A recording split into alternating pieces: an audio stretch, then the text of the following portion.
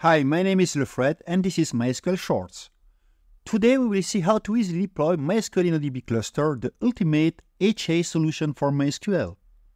So we will deploy MySQL on three instances and one router. Here we can see the three instances. I have a terminal open on each instances and on the MySQL router. So we locally connect on each instances. Here I connect to MySQL 1 with MySQL shell and I do dba configure instance.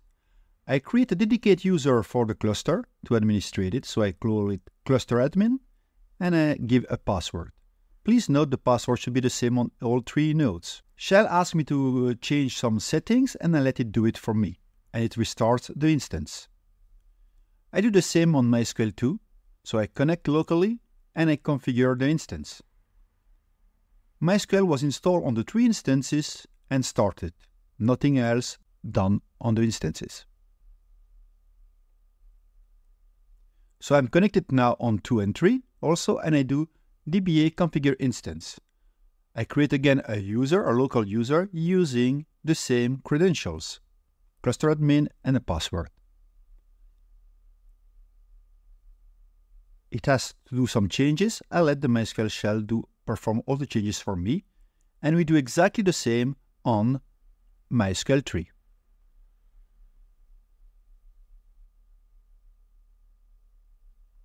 When done, on the first instance, MySQL 1, which will be the primary, I connect using the new credentials we have created, so cluster admin at MySQL 1.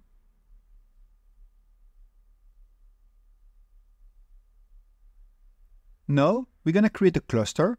So it will be a cluster object using the dba create cluster method and I give a name to my cluster.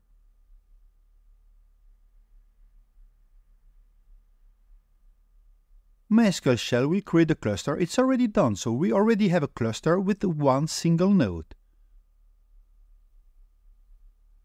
Of course, this is not HA yet. It will need more than one instance. So to do that, we use cluster add instance and the address of a second instance. I use MySQL 2. Data provisioning, it's included, and I use clone. It's very fast, there is very few data here.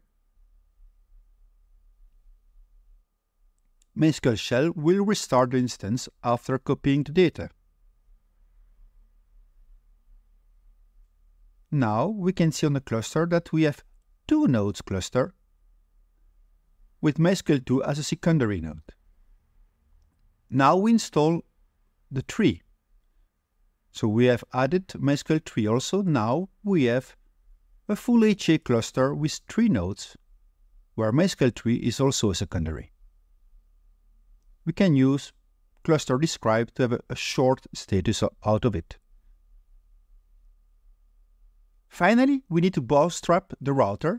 To bootstrap the router, we use MySQL router with bootstrap command, connecting to one of the nodes, usually the primary. So I use again the same credentials, cluster admin at MySQL 1.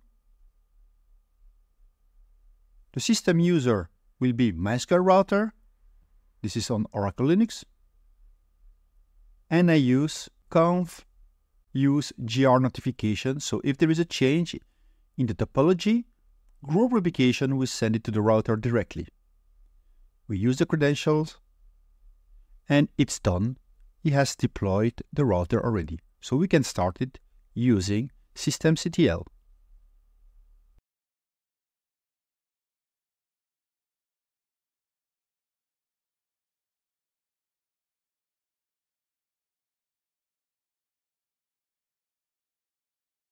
The router is also part of the cluster, so we can list it and we can see the router is there. With all the ports for read-only ports, read-write ports, and the new read-write split port. So thank you for watching. Please make sure to hit like and subscribe.